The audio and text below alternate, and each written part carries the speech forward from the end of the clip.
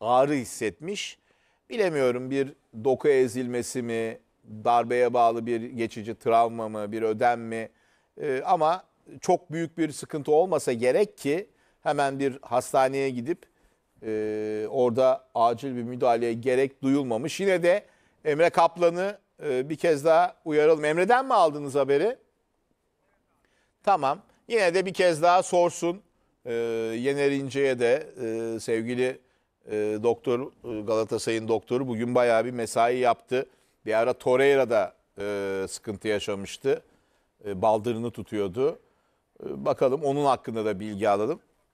Emre hatta mı? Emre e, kolay gelsin. Hemen sıcağı sıcağına soralım istedim. Çünkü Muslera'nın durumu önemli. Nedir sendeki taze bilgiler?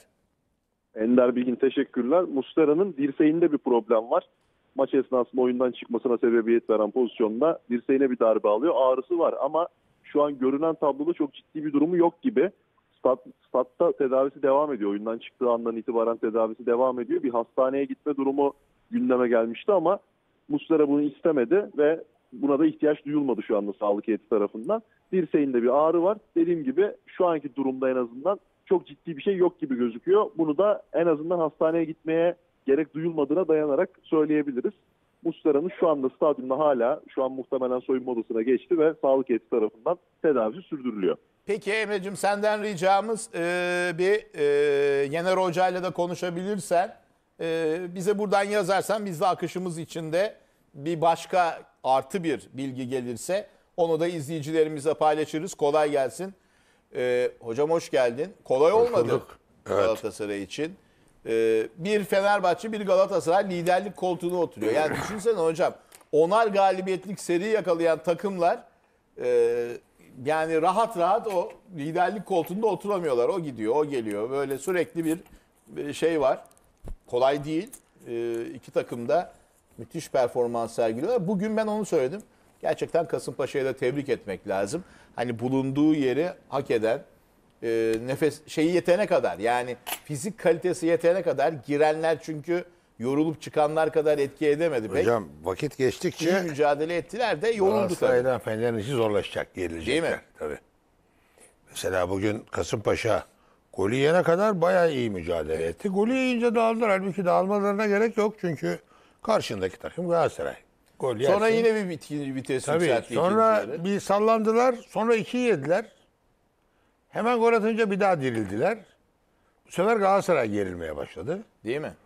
Mesela şöyle söyleyeyim şimdi büyük takım filan diyoruz ama artık büyük takım filan 10 dakika ilavede Galatasaray vakit geçirmeye başladı. Topu kalesinden uzak yerde tutmaya başladılar. Köşegenlerine gittiler ki doğru yaptılar. Evet. Hocam yemeyeceksin yani büyük takım filan yok bu işte. Yersen telafisi çok zor. Hocam orada skorboardta ne yazıyorsa o oluyor. Yanar. Ondan sonra 2-2 "Aa, bitse bunlar sen 2-1'e şimdi seyret, oynadılar tabii. falan. Unutulur gider. Tabii. Sen kazanmaya bak. Tabii. Bak onu söyledim.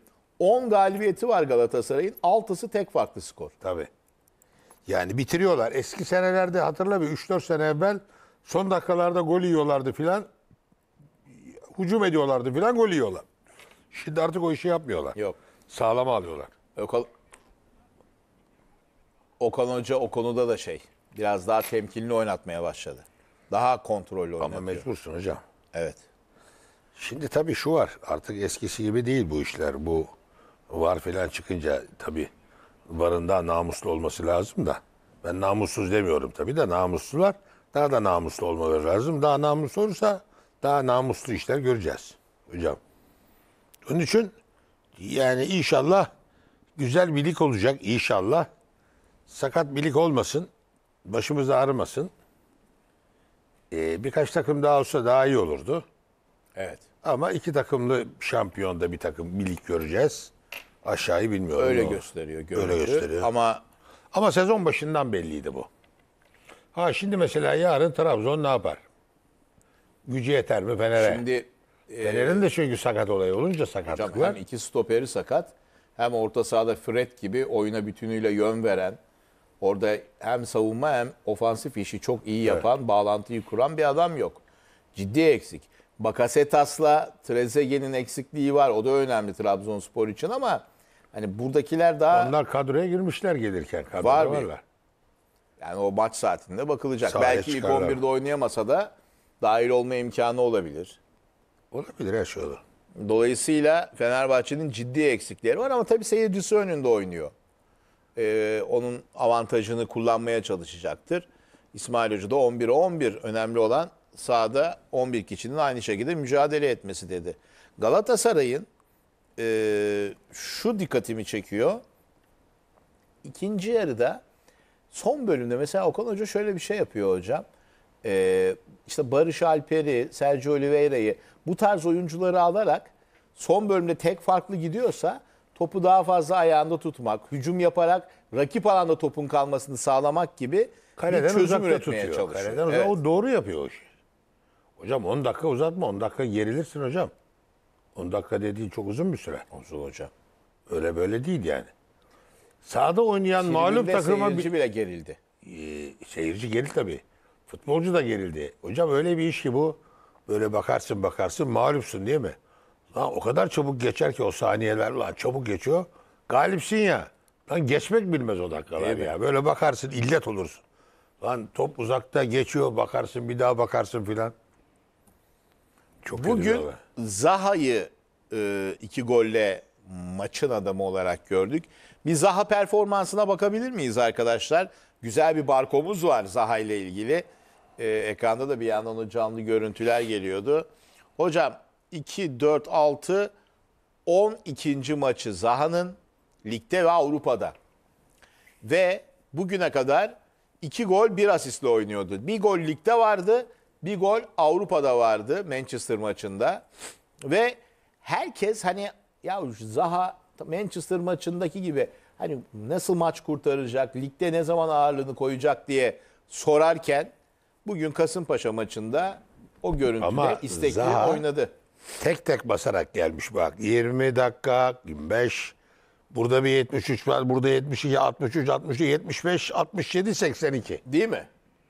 Şu ne kadar basa basa güzel gelmiş, gösteriyor tabii. o şey performans gelişimini, kon, fizik kondisyonunu nasıl Tabii. geliştirdiklerini. Bir de tabii şu var. Teknik adam bir anda yüklenince de sigorta atabilir. Sakatlanabilir Tabii filan. Hocam. Burada takımlarda şey çok önemli. Sağlık ekibi var ya inanılmaz önemli bir olay ya. Sağlık ekibi farklı bir olay. Seni vezir de eder, rezil de eder. Sağlık ekibi. Hocam şimdi hem o fizik kondisyon çalıştıran yardımcı hocalar, işte fizyoterapistler falan hem doktorlar artık be- belki de İki bir şey. yani çok önemli. Onları falan transfer edenler var Avrupa'da. Tabii doğru. O ekipleri. E, doğru. Bir ara mesela Galatasaray'da Amerikalı bir kondisyoner vardı. Bayağı iyi iş yapıyordu. Hatırlıyorum ben onu. Ee, bu tarz mesela Fenerbahçe'de bir Alman bir ekip vardı bir ara. Mesela bir Taferel geldi. Müthiş işler yaptı Galatasaray'da. Muslera'nın